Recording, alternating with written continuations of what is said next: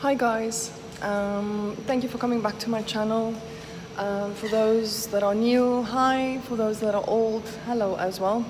So I'm quickly going to my place. Um, I've borrowed my friend's car. She's got a gorgeous Range Rover because the bank and the police took my car and sold it in the auction. That's a video for a whole different day. But yeah, so um, I'm also gonna get a mani and a pedi. I think it's gel. So let the glow up games begin.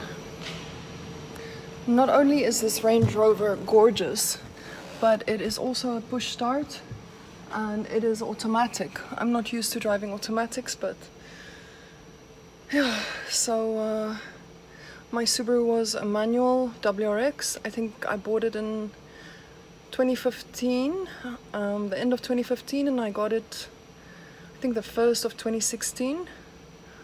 Um, blue, of course, the normal Subi blue.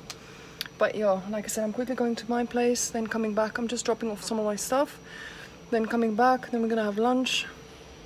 Um, I'm gonna do my nails. It's the first time that I'm doing gel and we're getting like a home service. And uh, yeah, that's about it. So let's go.